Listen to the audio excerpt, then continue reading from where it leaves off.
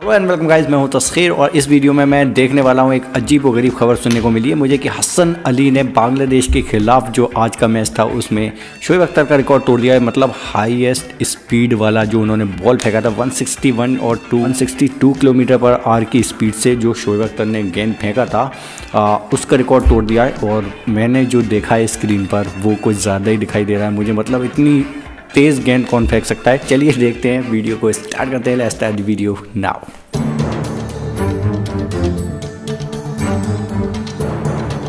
कौमी cricket team के bowler Hasan Ali ने बांग्लादेश के खिलाफ शानदार बॉलिंग का मुजाहिरा करके मैन ऑफ़ द मैच का एजाज अपने नाम कर लिया है। अच्छा उन्होंने चार ओवर्स में 22 रन देकर तीन विकेटें हासिल की। मैन ऑफ़ द मैच करार पाने के बाद हसन अली ने कहा कि सबसे पहले खुदा का शुक्र है यकीनी तौर पर यह मेरे लिए खुशी का लम्हा है। उन्होंने कहा कि वर्ल्ड कप में मेरी परफॉर्मेंस तो के मुताबिक नहीं थी, लेकिन हर किसी की ज़िंदगी में नशीबो फराज आते हैं। उन्होंने कहा कि मैं बांग्लादेश प्रीमियर लीग में यहाँ खेला हूँ। मुझे पता था पिच स्लो है, इस वजह से मैंने विकेट टू विकेट गेंदबाजी की और मुझे कामयाबी मिली। अब यहाँ पर बांग्लादेश के खिलाफ पहले टी ट्वेंटी मैच में हसन अली की बॉलिंग स्पीड की तस्वीर सोशल मीडिया पर वायरल हो गई है। कौमी टीम ने बांग्लादेश को पहले टी ट्वेंटी मैच में सनसनी खेज मुकाबले के बाद चार विकेटों से शिकस्त देकर तीन मैचों की सीरीज़ में ज़ीरो एक की बरतरी हासिल कर ली है।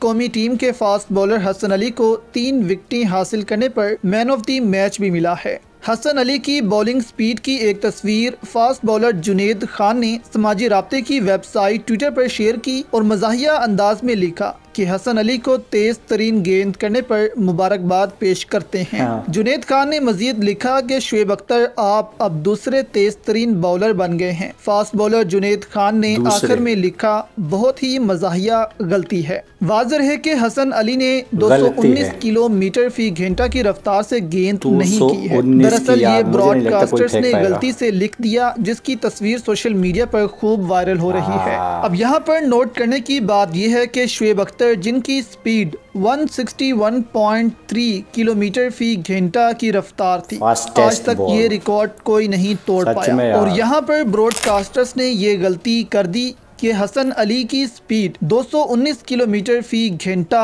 बता अगर छोटा मोटा फ़र्क होता तो सब मान भी जाते लेकिन इतनी स्पीड से गेंद करवाना तो शायद किसी के लिए नामुमकिन ही होगा। बहरहाल इस मैच में हसन अली ने बहुत अच्छा खेल पेश किया है और तीन विकेटें लेकर अपने ऊपर होने वाली तनकीद का भी जवाब दे दिया है।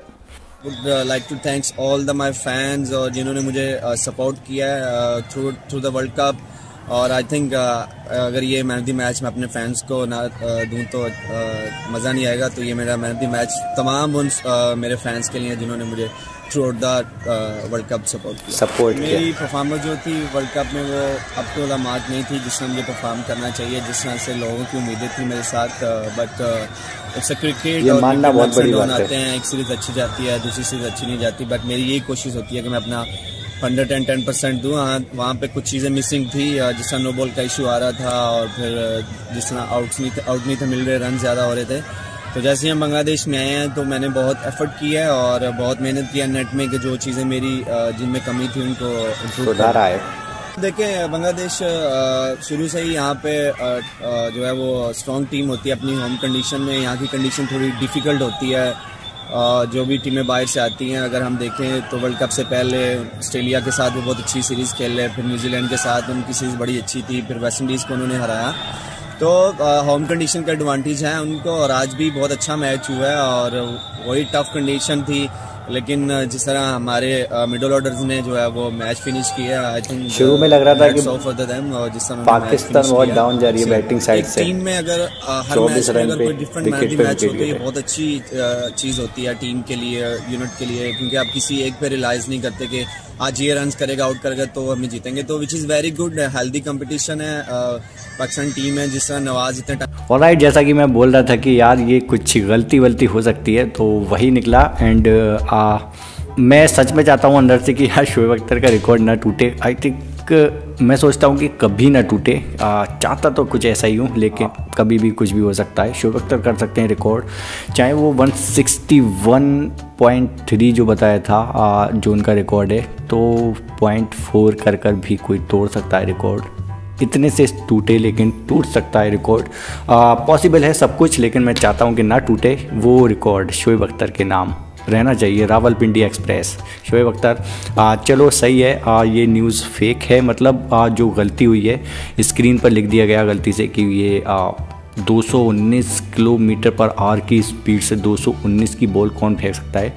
आ, जैसा इसमें बोला कि हाँ ये कुछ इम्पॉसिबल लगता है तो यस ये थोड़ा सा इम्पॉसिबल लगता है। इतनी जानदार इतनी शानदार बॉल कौन फेंकेगा भाई? मुझे नहीं लगता और अनाली की पोस्ट मैच टॉक्स जो थी हमने जो सुनी उसमें उनका एक बड़ापन दिखाई दिया कि उनका परफॉर्मेंस अच्छा नहीं था। आ, लोग उनसे नाराज़ थे उनसे कैश छूटा था और बहुत कुछ उनको झेलना पड़ा था क्रिटिसिज्म झेलना पड़ा था लोगों का। मीम्स बन रहे थे उनके ऊपर।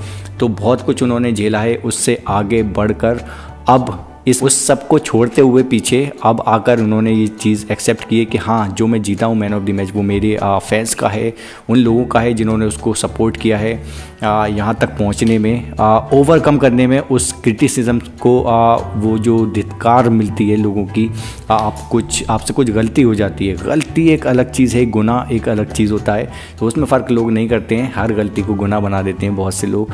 तो वही झेलना पड़ता है लोगों को और इन्होंने भी झेला है। इसके बावजूद इन्होंने आज अच्छा परफॉर्म किया है कम किया है अच्छा।